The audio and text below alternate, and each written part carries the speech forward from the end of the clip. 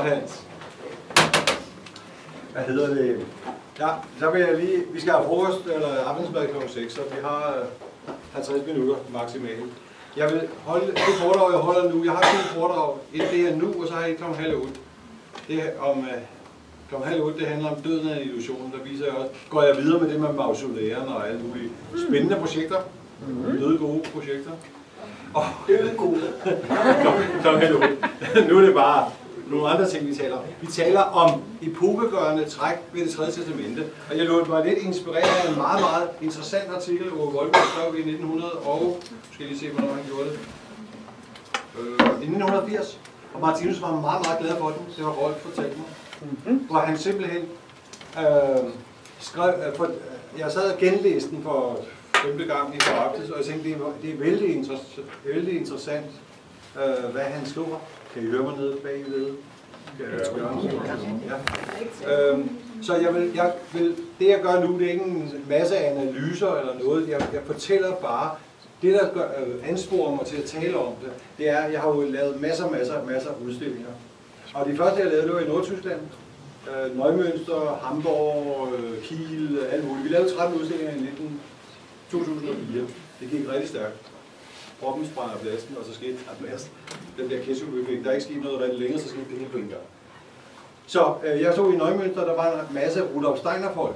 Og vi udstillede sammen med Guido Hubelsberg og Uwe Todt og Gerard var der også. Mm-hmm. Øh, han er 80 år i dag.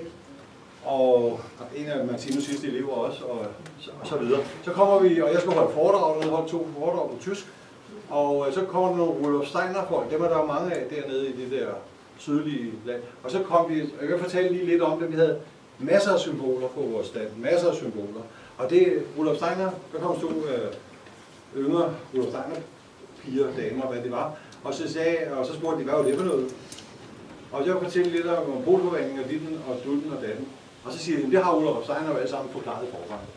Og, og, og, det, og så sagde jeg, nej, det har han ikke.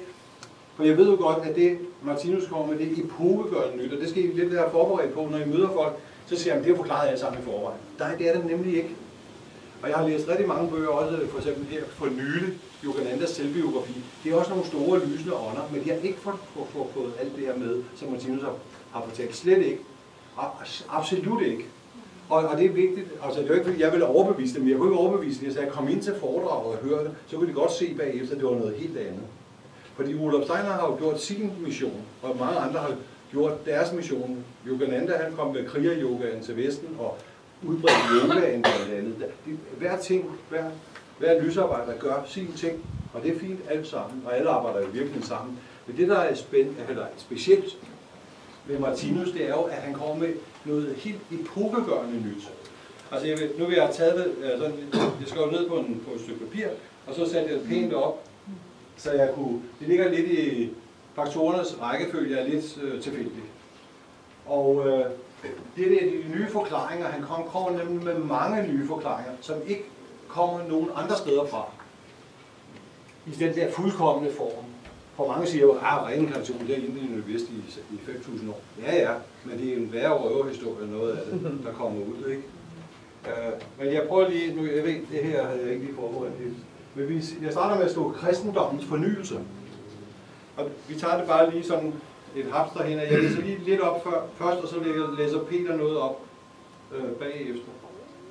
Øhm, og øh, det er nogle citater direkte fra Martinus. Han skriver her. Det er en intellektualiseret kristendom, stykke 53. Der, der siger Martinus, når disse mennesker således er blevet modne for at kunne modtage den, den kristendommens fornyelse, som vil komme til at blive menneskets åndelige fundament i den ny, nu påbegyndte nye verdensepoke, skyldes det altså ikke kristendommen, men derimod den karma eller gengældelse for de lidelser, som de selv igennem tidligere liv har påført deres næste. Det er denne mørke karma, der igennem tiderne har gjort disse mennesker modtagelige for kristendommen i sin fornyelse, logiske struktur og manifestation. Så det vil, og så vil jeg, øh, for lige at sætte lidt streg under det, så var det nemlig, at Martinus de sidste 10 år, hvor Rolf Elving arbejdede sammen med ham, mere og mere fuldstændig tunet ind på den linje, det var kristendommens fornyelse. Og der var vi lige fundet nogle ting. Og Jeg har alle hans julehilsner, som jeg har fået Kammer, eller taget kopier. Jeg har dem stadigvæk. Jeg har ikke leveret dem tilbage. Jeg har fået dem med Ejner, som gav dem til Kammer, som gav dem til mig. Og det er ret interessant, fordi de sidste 10 år, der indskærper han mere og mere øh, til mange af hans øh, proselytters store forfærdelse, at det handler om kristendommens fornyelse. Og de talte meget om, lad os få talt den gamle fra det. Det ville han ikke. Ja, så var det. Og derfor vil jeg lige tage en julehilsen fra 1976, hvis Peter vil læse den op for jer, så de sparer min stemme godt væk. Det kan være, at du skal... Ja, bare læse løs. Ja, det står ved, det står vist godt her. Alle ja. kan vist høre mig her. Og øh, der står, øh, verdensgenløsningen er således ikke blot Jesus af Nazareth. Og Jesus af Nazareth er ikke blot Kristus. Og Kristus er ikke blot et jordmenneske, der er født af en kvinde, ligesom alle andre jordmennesker. Denne jordiske og fysiske side ved hans øh, frem, øh, frem med jordiske åndelige identitet. Øh, hans rige er ikke denne verden, det er Johannes 18:16, var nærmest at betragte som en rumdragt, som var, han var nødsaget til at være født i, for permanent fysisk at kunne overføre den første forberedende begyndelse til den gigantiske kosmiske, øh, kosmiske indvielse, som i form af den totalt fuldkommende kristendom i de nærmeste tre årtusinder skal færdiggøre jordens øh, menneskehed i Guds billede efter hans lignelse. Det er fortsættelsen af denne kristendom, der er et med faderen og rummer al magten i himlen og på jorden, og er derfor vejen, sandheden og livet, og uden hvilken ingen kan komme til faderen.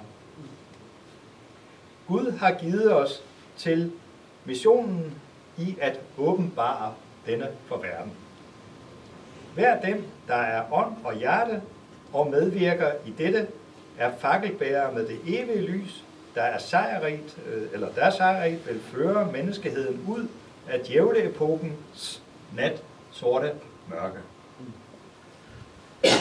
Verdensgenløsningen har sejret. Kristendommen er blevet til et øh, alkærlighedens rige med overjordisk verdenskultur. Det er derfor, øh, det er derfor bebudet øh, eller forudsagt under begrebet himmerigs rige. Det er således ikke meningen med Guds store skabelse af menneske, menneskene i, i sit billede efter sin lidelse, at de kun skal blive til djævle. Det er ikke meningen, at klodens øh, skønne, skønne blå øh, øh, solgitrende oceaner skal blive til pakhuse øh, for dødbringende atomaffald. Det er ikke meningen, at jordens skønne, farverige og livsfyldte kontinenter skal være golde brændsår. Livløse radioaktive ørkner, gravmæler efter en ufærdig menneskeheds djævlebevidsthed eller afsporede væremåde. Tak. Tak, Peter.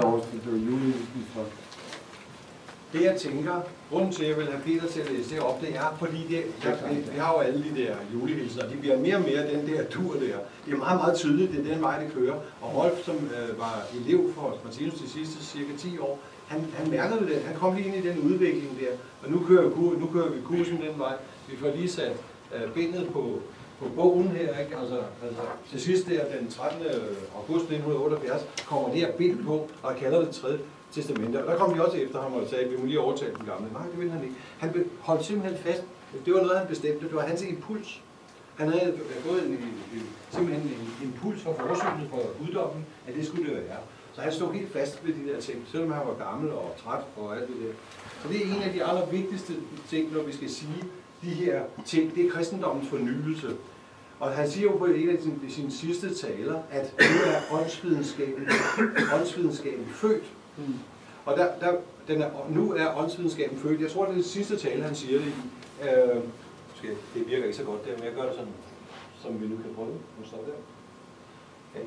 Det bliver jeg forberedt lidt bedre. Men øh, åndsvidenskaben er født, og der tænkte jeg, længe tid har jeg gået og tænkt, jamen det var jo nok Der var jo teosofi og antroposofi, og Rudolf Steiner kalder det også for åndsvidenskab. Men, og jeg gik og tænkte, om det var sådan en forløber eller et eller andet. Det er det sikkert også. Men Martinus mener virkelig, at åndsvidenskaben, det er den, han har skabt. Det er der ingen tvivl om. Det, det, det blev mig klart med tiden, at det har, han har nu skabt åndsvidenskaben. Nu er den virkelig født. Altså, Rudolf Steiner, det er en forløber. Må- Så ser jeg nærmest på det. Men nu er den født. Nu er den, nu er den kommet til verden. Ikke? Og så har vi, så er der øh, næste ting. Jeg tager, jeg tager den her væk, fordi det, det er vist lettere, at I får lov til at se det hele på en gang. Se, der, der er, øh, vi har her øh, af andre ting, altså øh, kosmisk bevidsthed, det forklarer han, hvad det er. Selvfølgelig er der folk, der har fået delvise kosmiske glimt i forvejen.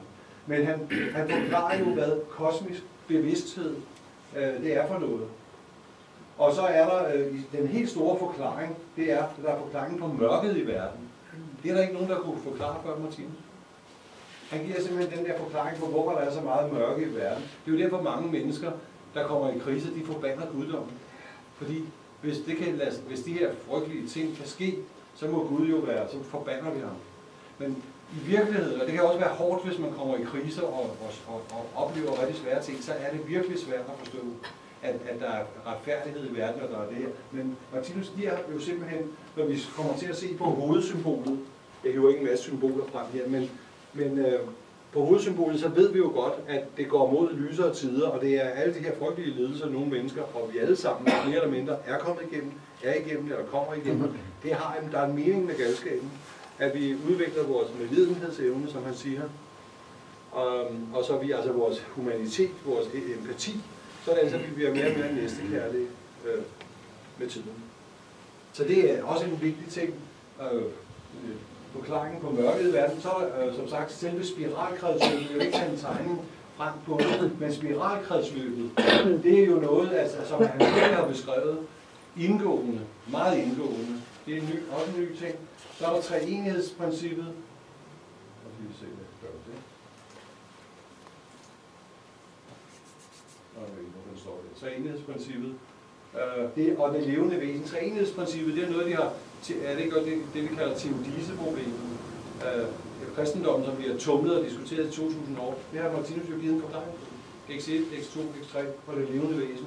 Det er en meget stor, fin forklaring, han kommer med der. Og så har han, øh, så er han kommet ind på gudsbegrebet. Øhm, jeg har det sådan lige op her. Gudsbegrebet og forklaringen på det levende væsen. Der der står to gange.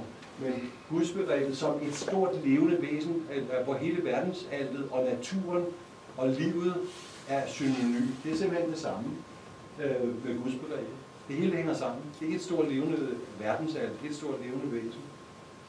Og så kommer vi til den seksuelle polforvandling, og det vi talte om i morges, seksualismen og, og jegets vending. Altså at alt det befrugtning, det som øh, vi har talt om både, både Margit og Bob og Ingemar har talt om.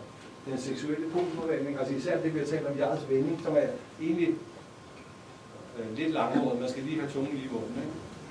Altså det er, altså det er alt er befrugtning i virkeligheden. Altså alt hvad vi foretager os, alt hvad seksualisme, hele livet er seksualisme for Martinus, det er også noget, noget spe- helt øh, specielt. Og polforvandling, specielt det med polforvandling, den seksuelle polforvandling. Jeg kommer meget på de her åndelige messer, fordi jeg også har været healingsbesøg i mange år og alt det her. Og øh, vi har udstillet med Martinus i mange år siden, øh, år 2003. Og der er det jo helt normalt, at man går hen og, og får klaverjancer og så videre og så videre. Og de fortæller alle sammen, at du er mand og kvinde skiftevis i dit her liv. Martinus siger, at det er faktisk stort set, bogstaveligt talt, umuligt at skifte køn.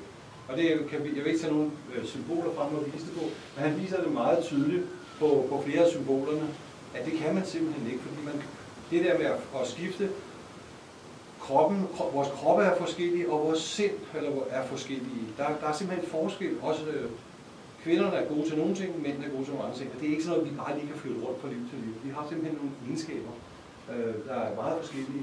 Så den, den der, og der vil sikkert komme en masse strid i det i fremtiden, når det her det bliver mere og mere kendt, at den seksuelle polforvandling, at der kan man ikke skifte køn og Martinus. Men det vil jeg vente om at sige, det kan man slet ikke. Det er ikke noget, Martinus har bestemt, det er noget, han har set. Men det skal vi jo forholde os til. Er det virkelig sådan? Det må vi jo undersøge, om det han skriver det er rigtigt, eller kan det have noget. Der er mange, der kommer, og hvis de har været til en eller anden øh, troldkvinde der, eller har- der har kigget tilbage i deres liv, eller de har set et eller andet, så har de opfattet sig selv som at have et andet køn i et tidligere liv. Men der er, der er også forklaringer på, og der er også nogle, en amerikaner, der har skrevet, øh, beskrevet det, jeg kan ikke huske, hvad han hedder, men han siger, hvis, hvis man hypnose, øh, det er hvis ved hypnose han går tilbage, så kan man simpelthen ikke skifte køn til ham. Det er bare umuligt. Og det er de måder, det, den der fejl opstår på, hvor de tror, de var skiftevis, de skiftede køn hver anden gang stort set.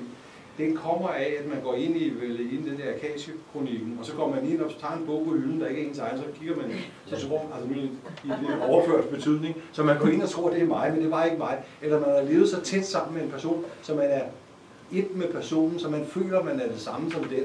Så det, det kan være, der kan være andre forklaringer. Jeg kan ikke give dem helt fuldt ud. Men der er altså andre. Der er forklaringer på modeller. Især ham amerikaneren, han beskriver det, der kom for et år siden den bog. Jeg kan ikke huske, hvad den hedder, jeg kan ikke huske, hvad den hedder. Men han beskriver det helt klart. Det kan simpelthen ikke lade sig gøre. Heller ikke i andre kredsløb. Øh, jo, jo, man skifter i andre. Jo, det er et godt spørgsmål. Man skifter. I det her kredsløb bliver vi her. Altså i en gang rundt i rundkørslen her, der bliver vi på det samme køn. Men næste gang, så bliver du helt automatisk det mod. Så bliver du en mand, og jeg bliver en kvinde. Så, ja, så, så der er retfærdighed på, øh, på den lange bane, så skifter vi hele tiden. På den lange bane, så skifter vi. Næste gang, i det næste kredsløb, går vi op i planetkredsløbet. Der bliver du en mand, og jeg bliver en kvinde.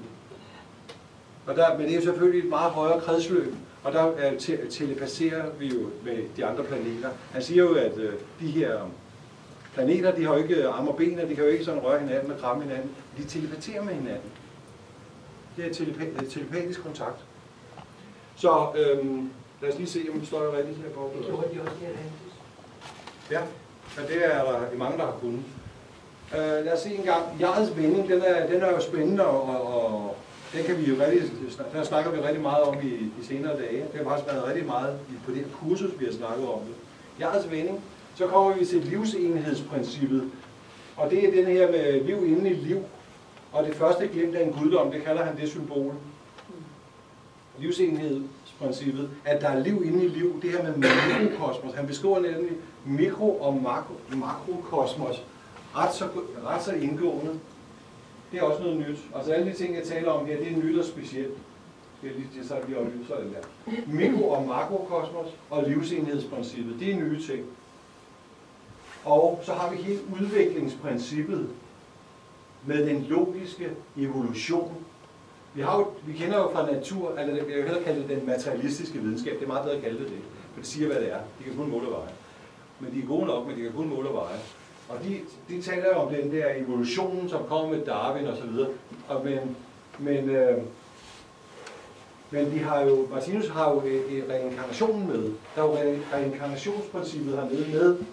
Øh, så, så den der udvikling, den bliver logisk, når vi får, i, øh, får reinkarnationen ind i det. Ellers har vi kun den halve sandhed i virkeligheden.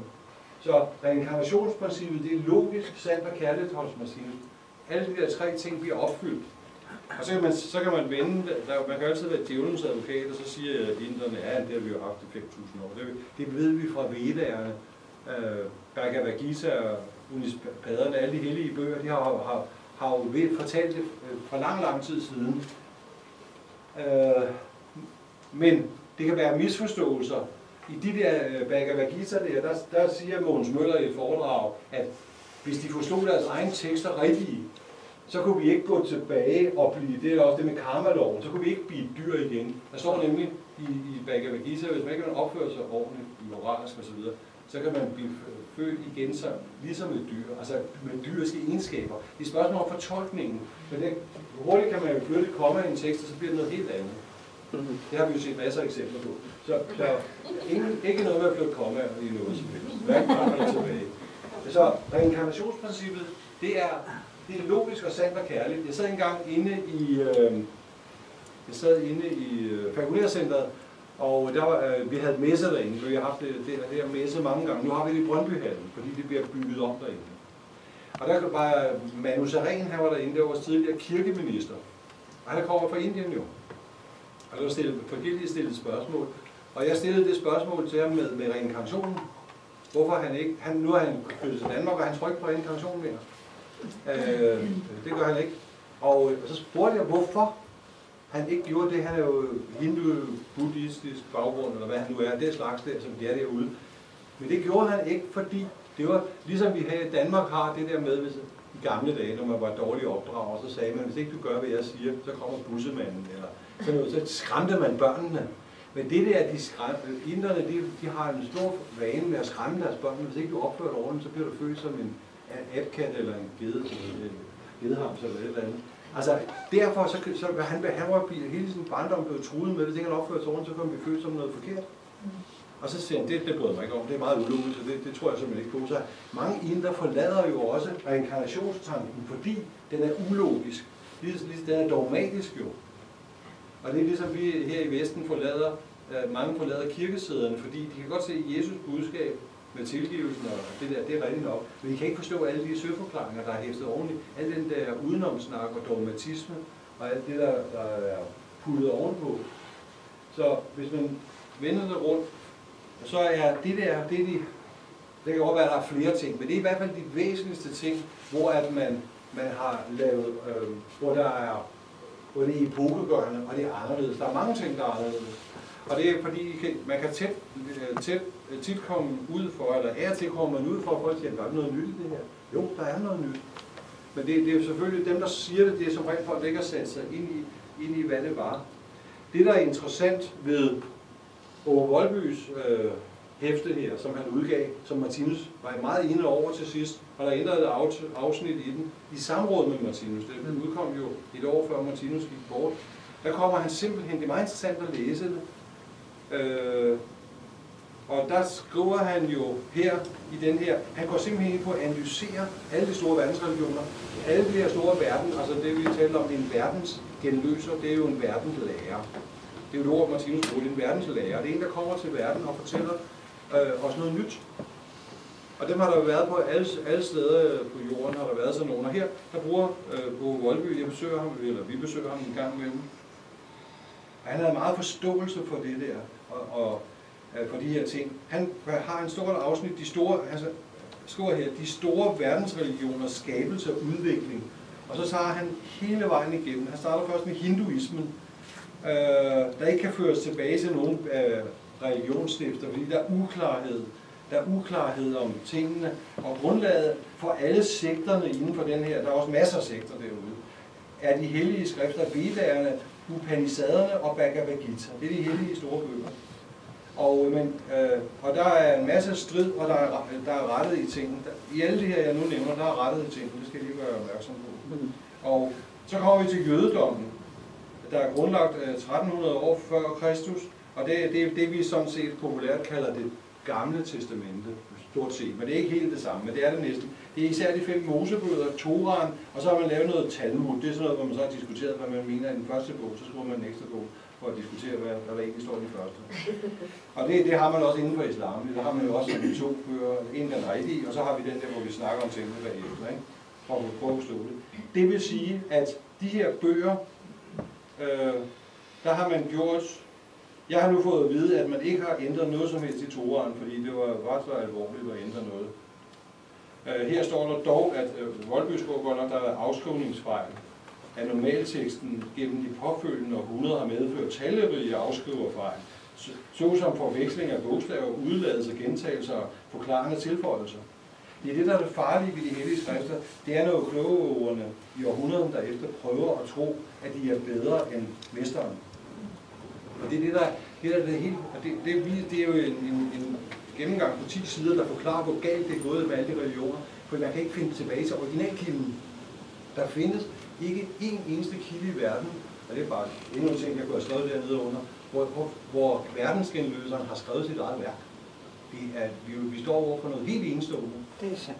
Det er første gang på jordklodens historie, at øh, Altså de her vedderne, Upanisaderne og Bhagavad Gita, man aner ikke, hvem der skrev dem, hvornår man skrev dem, eller hvor mange gange der er ændret og rettet og flyttet komma og dit og datten. Det aner man ikke. De er skrevet på sanskrit, som skulle være øh, et af de fineste sprog i verden, ikke? de ældste i hvert fald. Nok muligvis det ældste sprog i verden, siger man. Muligvis det ældste sprog. Så kommer vi til buddhismen. Det er grundlagt af øhm, Buddha omkring 500 år før Kristi. Og øhm, i de første århundreder efter Buddhas død fremkom håndskrifter, hvor i hans samtaler, diskussioner, legender og eventyr er samlet og kommenteret. Disse hellige bøger, kanons, er i forskelligartede og uoverensstemmende og danner som følge heraf grundlag for forskellige buddhistiske retninger. Det er det, der sker, når man begynder at ændre på bøgerne, så bliver der den retning med buddhismen, og den retning, og den tredje retning, og vi har, vi har lige en sætning med der, så der, ligesom i med kristendommen. Så kører det ud af, ikke af motorvejen, men alle mulige sideveje. Og så har vi, og det ser vi også, det, er især inden for kristendommen er det sket, også, øh, også inden for islam. Det kommer vi til lidt senere. Disse hellige, øh, okay. Disse forhold har givet en usikkerhed, der på nogle kirkeforsamlinger, koncilier, når vi taler om buddhismen, ikke, har medført, at visse og ikke andre værker er blevet autoriseret. Senere tilføjelser, revisioner og stridigheder har medført, at såvel den buddhistiske originale litteratur, som litteraturen om buddhisme er blevet uoverskuelig og fuld fuldt med usikkerhed. Så der er jo virkelig grunden til, at Martinus var så øh, strikt med, at ikke et komma skulle ændres. Så kommer vi til Konfucius, det er ude i Kina, også omkring år 500, det er meget før Kristi. Det er meget interessant at se, at alle de der, øh, den der effekt kommer samtidig. Der må være kommet en verdensimpuls formodet af på år 500 før Kristi, fordi hvorfor dukker de op i alle verdensdele år 500 før Kristi? Platon. Platon? Ja, også Platon. Okay, det er Grækenland. Ja, så de havde jo også et kosmisk øh, glimt, sagde Martinus. Øh, alle de der Aristoteles, Platon og, og så videre, så videre. Platon skrev staten, ikke? Øh, altså de der, de, græker, der, han nævner så ikke grækerne i den her sammenhæng, men øh, grækerne, hele det der skete, det skete dernede med Pythagoras, Platon, Sokrates, øh, Solon og hvad de, hvad de hed, alle dem der, Aristoteles osv., det var jo et, simpelthen et kosmisk glimt i jordklodens historie, der, der røg ned til de der grækere, og så blev de åh så kloge, og så startede de hele, hele vores øh, demokrati og vores øh, videnskab og alt muligt. Det var jo fantastisk, det der skete, og så lukkede det ned igen, ikke?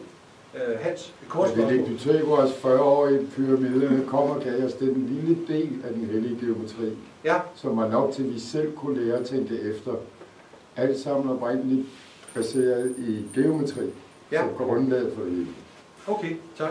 Jamen det er, det er selvfølgelig, de hjælper jo hinanden alle de der.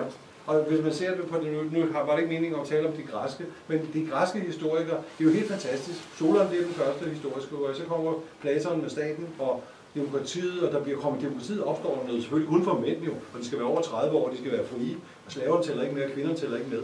Der var, der var en del begrænsninger på det der begreb, men det starter trods alt et eller andet sted. Det er ret interessant. Jeg optøver tilbage til Konfutse, Øh, der skal vi se, hvad står der om de her tekster. Okay, jeg tager lige det sidste. Han, han var faktisk en formidler, ikke en skaber. Han, han fortalte noget til sine disciple. Det tager vi lidt om det der med skrifterne. Da disse nedskrevne samtaler, man nedskrev, hvad han sagde. Konfucius sagde noget, og så skrev man det ned. Det er ligesom med Mohammed, det er det samme. Konfucius, da, disse, da de nedskrevne samtaler gengiver mesterens udtaler, kan skrifterne minde noget om det nye testamentets referater af Jesu ord. Og men teksterne muligvis er redigeret af senere disciple, er kernen dog bevaret og kan føres tilbage til mesteren selv. Så der var rettemageren også inde over, ikke? Men der var et eller andet der. Man kan heller ikke helt stole på det. Så kommer vi til taoismen. Tao betyder Gud. Taoisme. Taoismen. Det er også en af de store Taoismen er grundlagt af den halvt legendariske kinesiske tænker, tænker og filosof Lao øh, Tse, hvis person og, øh, og tiden og fantasien er udstyret med dens nuværende mangfoldighed af træk. Øh, nu skal jeg lige se, hvad der står om ham. Øh,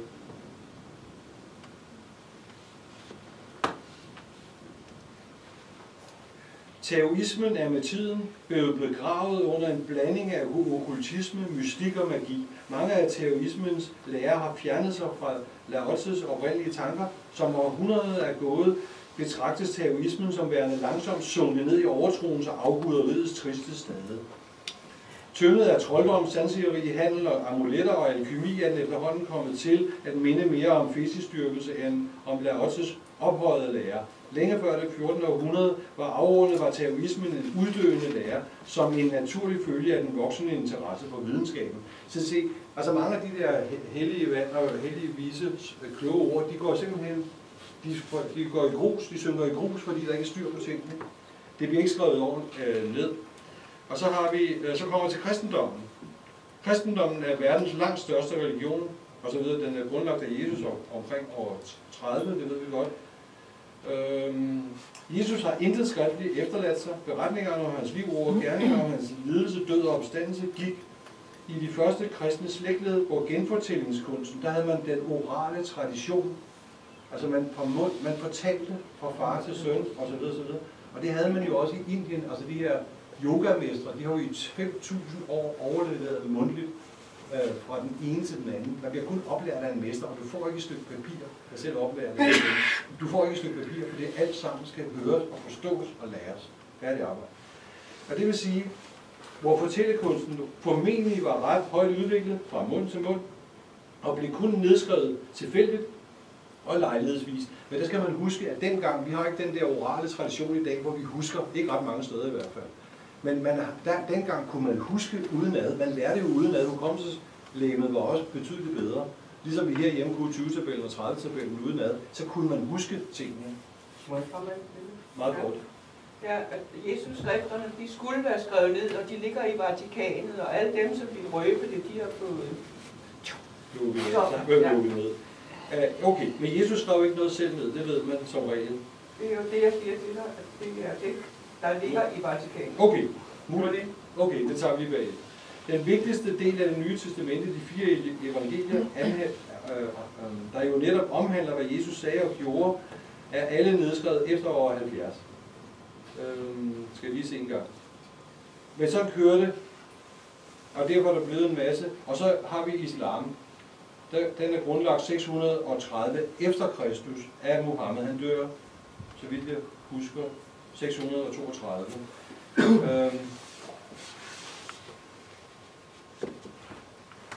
Og der står her, der står, øh, Koranen er navnet på øh, sam, en samling udsagn, forordninger og fortællinger, der fremsættes af Muhammed som åbenbaringer modtagende fra alle gennem ærkeenglen Gabriel. Koranen er derfor islams vigtigste grundlag. Koranen blev fra første af dels bevaret ved mundtlig tradition alt eftersom den fremstod på profetens læber, dels brudstykkevis nedskrevet på tilfældigt foreliggende materiale, og det var alt muligt. Man skrev på gedeskin og, og brædder og alt muligt. Man skrev lige præcis, hvad han sagde, og det samlede, det samlede man så sammen. Øh, derved opstod muligvis, naturligvis stor usikkerhed, og da der hurtigt udviklede sig uoverensstemmelser og tvetydigheder, lod kalifen Osman nedsætte en kommission for at foretage en revision og ordning af alle afsnittene. Og det er derfor, den er i fuldstændig tilfældig af, øh, rækkefølge. Versen er, er puttet så man, man skal skille dem ad for at finde ud af, hvad kommer fra Mekka og Medina. Det er meget forskelligt. Øh, efter denne revisions afslutning blev alle andre eksempler til intet gjort. Det, det gør man alle steder. Man til intet gør det uægte. Koranen, som den nu foreligger, repræsenterer altså den af Osman efter Muhammeds død vej, til vejbragte tekst. Så der har man også haft problemer med, hvad er ægte og hvad er uægte. Ligesom i buddhismen, hinduismen, taoismen, konfucianismen. Så det er, det er sådan en naturlov, der skal, det skal ikke gå galt. Øh, Koranen bærer præg af at være blevet til på en afbrudt måde. Den synes i betydelig grad at være uden plan og sammenhæng og samlet med mangel på kritik. Det er jo fordi, jeg har studeret en del, og det, det hopper frem og tilbage. Men man skal så samle, hvor har han sagt hvad. Den indeholder talrige selvmodsigelser og tilbagekaldelser af tidligere trufne bestemmelser.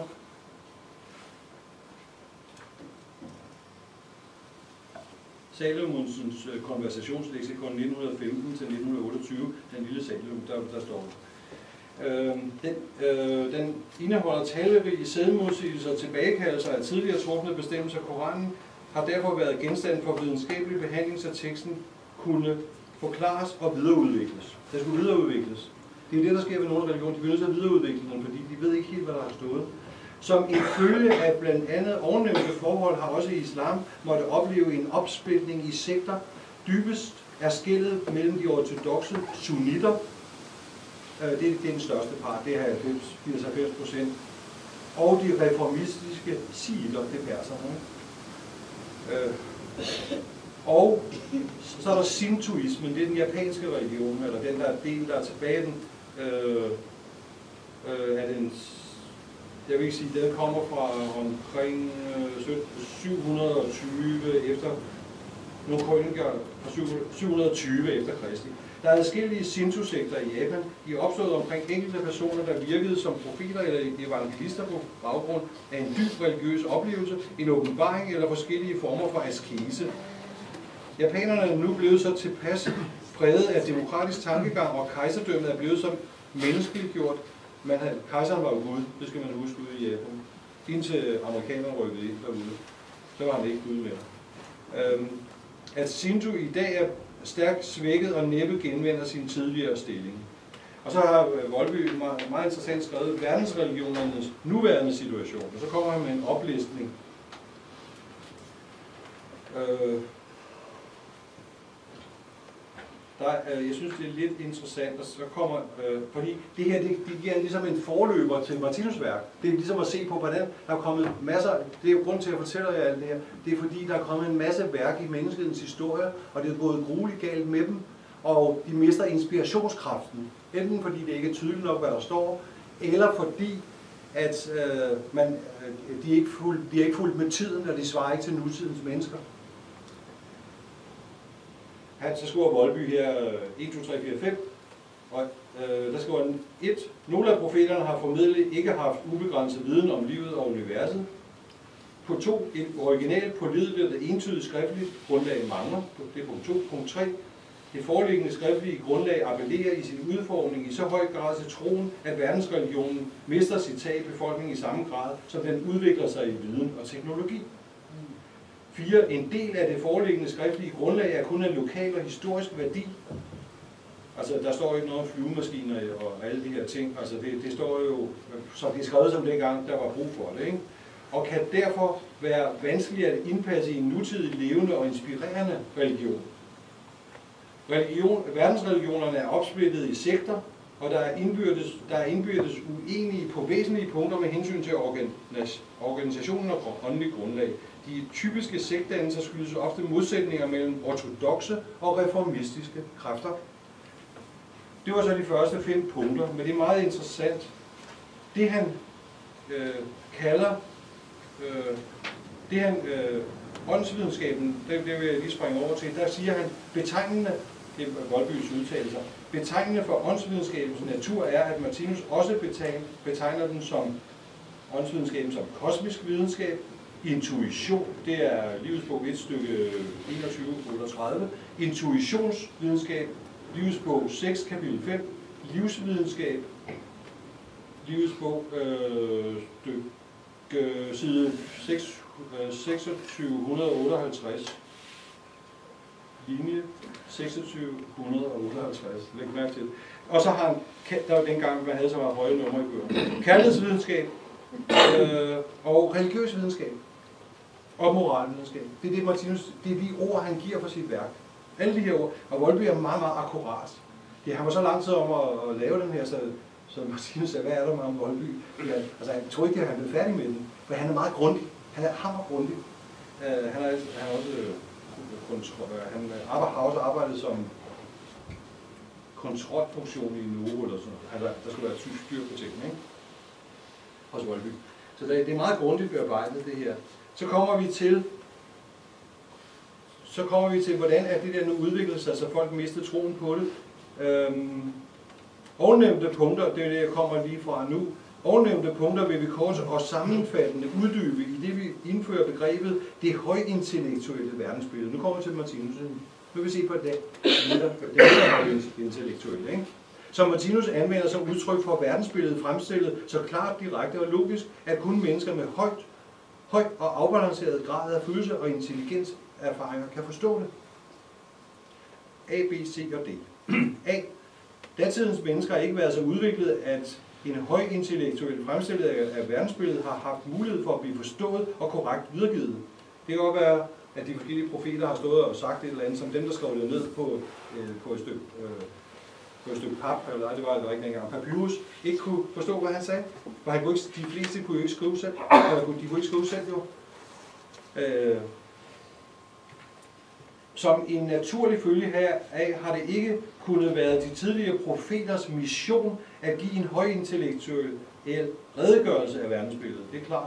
De har givet noget, der var nødvendigt, og det var godt, det de gav for den tids mennesker.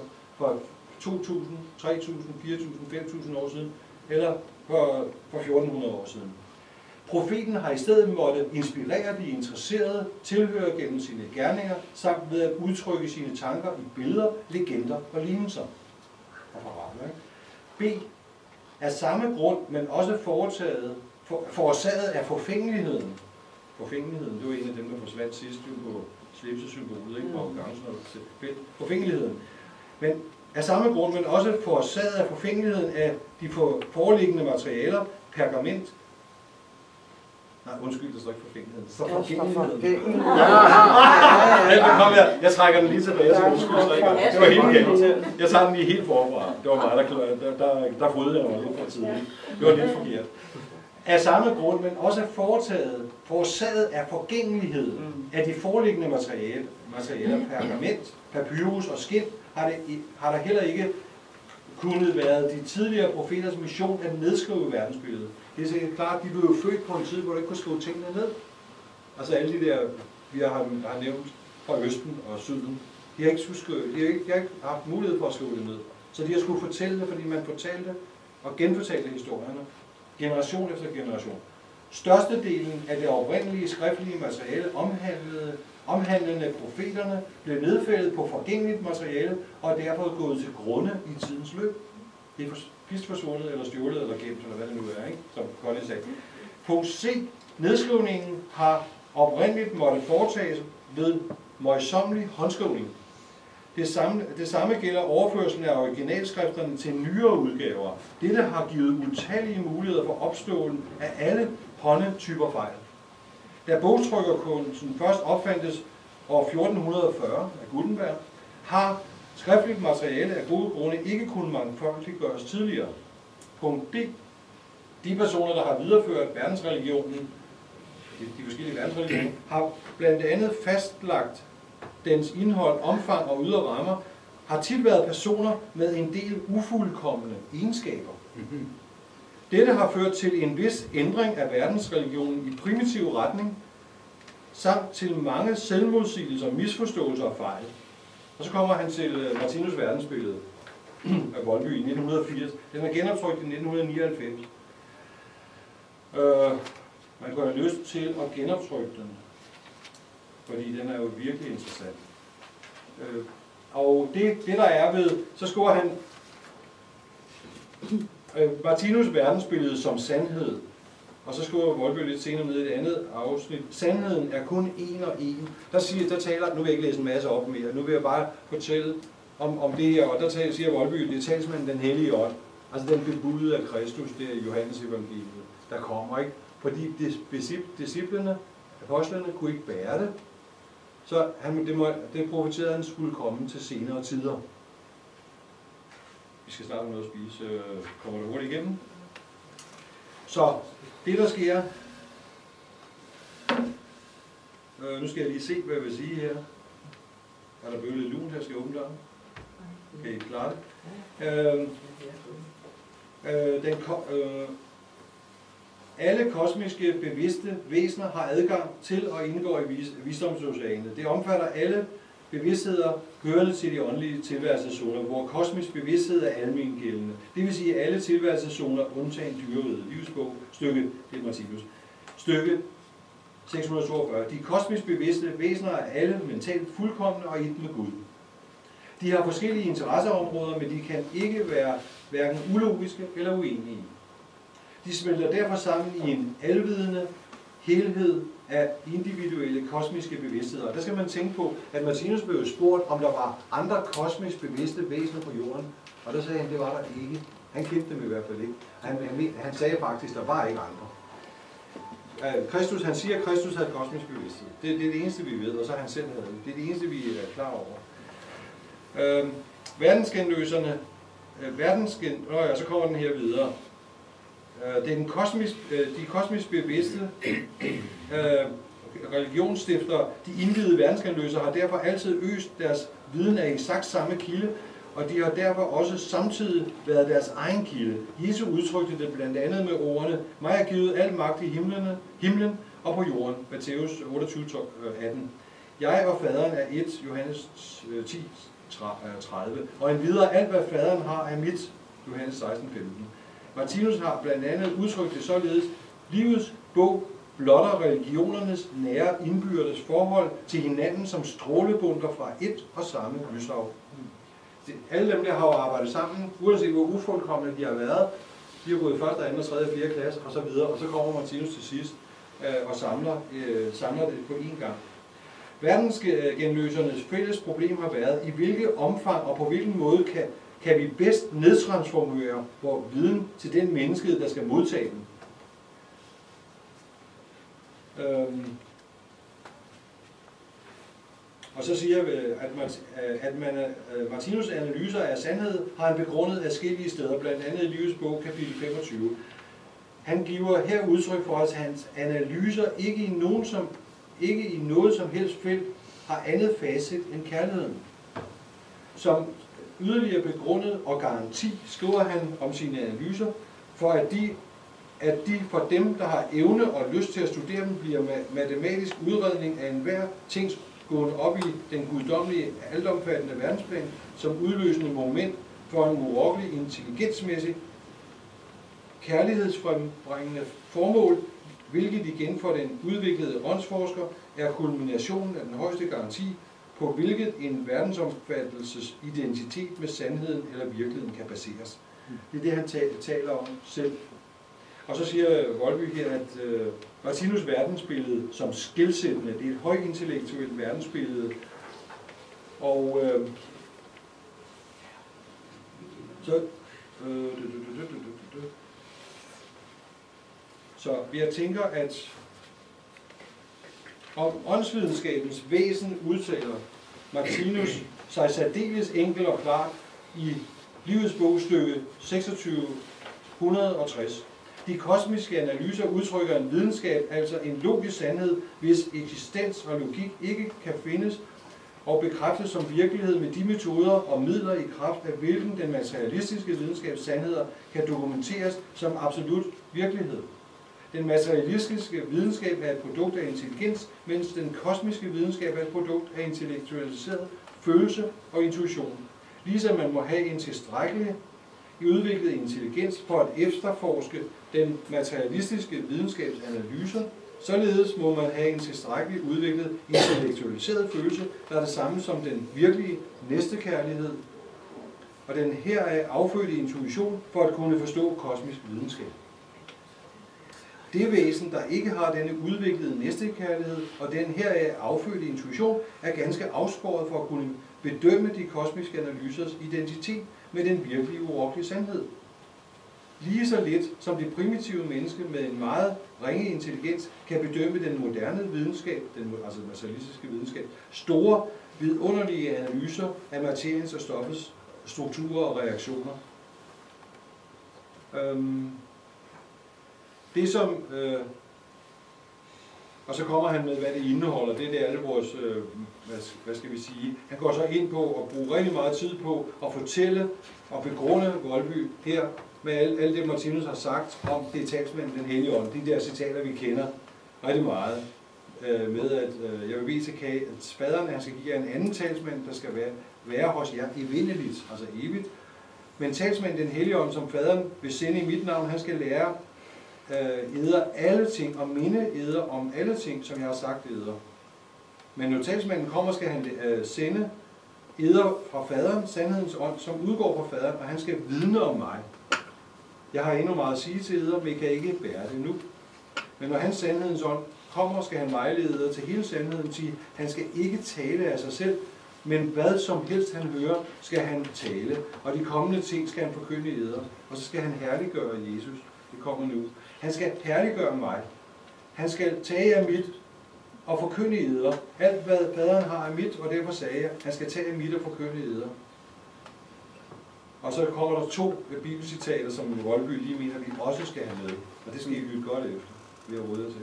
10. Jeg har ikke talt af mig selv med faderen, som har sendt mig. Han har givet mig befaling om, hvad jeg skal sige og hvad jeg skal tale. Og så kommer måske den vigtigste inden for sagen i øjeblikket. Sandelig, sandelig siger jeg, æder, en tjener er ikke større end sin herre. Ikke heller et sendebud er større end den, der har sendt ham. Og så det vil sige, at alle os, vi står jo bare som papegøjer og siger det, Martinus, vi læser fra Martinus, og så fortæller det videre. Det, Martinus er jo mesteren, det er jo, det, han er jo herren i virkeligheden, i det her sammenhæng. Så derfor er det jo klart, når han, det han siger, øh, det, det bliver vi jo nødt til at rette os efter, hvad angår hans værk. For alt det her, det handler dybest om, hvordan man har behandlet hellige værk de sidste 6.000 år. Og det er gået roligt galt hele vejen igennem. Så nu er vi nødt til at styre på det, for nu har han selv skrevet det med. Ikke? Øhm, så jeg tænker, at vi er ved at have, nu skal vi, jeg tror, vi skal sige det i det, og så er det en dødgodt foredrag, foredrag på halv